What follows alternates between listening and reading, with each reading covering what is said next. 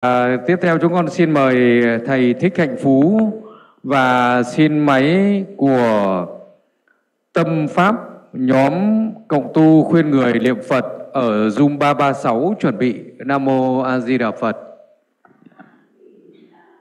Dạ, Nam Mô A Di Đà Phật, kính bạch thầy Dương Thanh Hải. Con thường xuyên tu trong nghe tên dâm là A Di Đà Phật, nhưng sao tai con lại nghe là A Di Đà Phật? Và nhìn hình Phật thì giống như Phật đang chê cười con vậy. Vậy kính xin thời dân thành Hải.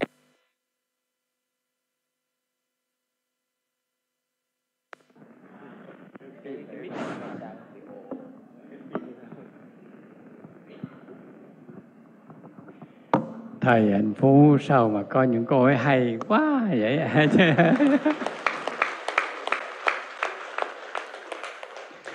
Chư vị thấy không? Khi chúng ta còn tỉnh táo như vậy, mà ta nghe tiếng a di đà phật thành a ma ma di đà phật thấy thấy. Ma ghi Ma ghi đà Phật. Ma di đà phật. Ghi ghi ghi ghi ghi viết ấy, ghi chép ấy. ma ghi hả? Ma ghi đà phật. Hay không chư vị? Còn tỉnh táo này mà chúng ta nghe chữ a thành chữ ma chữ chữ chữ di thành chữ ghi. Có những người khi mà hộ niệm người ta không niệm a di đà phật mà người ta niệm áo quần phơi chưa? là không chư vị. Đấy rồi ví dụ như một người mà bệnh khi mà yếu rồi thì cái lỗ tai của họ chỉ còn có một phần mười thôi thì người ta còn nghe những âm thanh gì khác nữa lạ nữa mà mình đâu có biết đâu. Chính vì thế mà niệm phật chúng ta phải niệm rõ ràng. Niệm rõ ràng từng chữ chứ là gì bỏ gì là bỏ gì là bỏ gì người ta không biết là ờ, ờ, ờ, người ta không nghe được đấy chứ vị cho nên thành ra là niệm phật chúng ta phải niệm rõ ràng. Từng tiếng từng tiếng trong trẻo rất là tốt rất là tuyệt vời. Giúp cho những người bệnh không có nghe những âm thanh xa lạ. Vì rõ ràng đây là một người đi hộ niệm còn tỉnh táo như vậy mà nghe tiếng a di đà phật của đại chúng thành à, ma ghi ma gì đó ma nhọn gì đó. đây là một cái lời mà cảnh cáo cho chúng ta biết rõ ràng.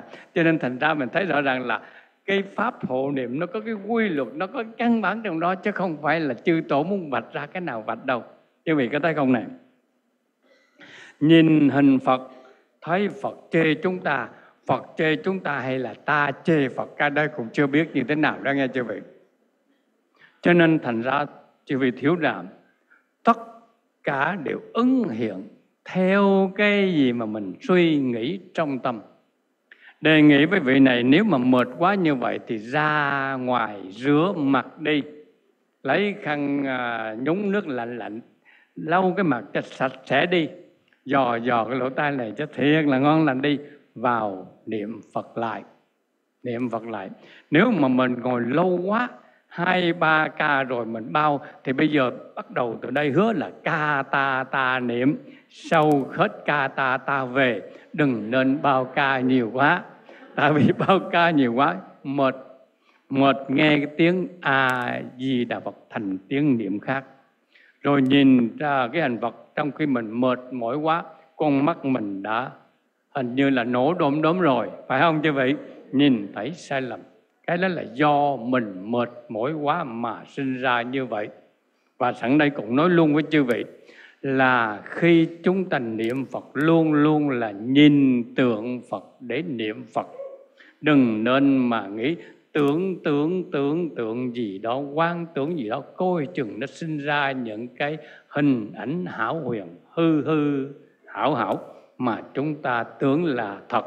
Mà thực ra đó là mệt mỏi nhiều khi cái mắt mình quán đi, quán là quán là mờ quán đấy, chúng ta thấy này thấy nọ rồi cứ chấp vào cái đó, nghĩ vào cái đó. Cho nếu bây giờ bắt đầu từ đây, nếu mà bị như vậy chứ vị đừng nên tiếp tục ngồi niệm Phật nữa, mà ra ngoài lấy gáo nước, xối lên đầu, lau mặt cho sạch sẽ đi, chùi cho mát mẻ đi, tỉnh táo vương vai vài cái, rồi vào niệm Phật nữa.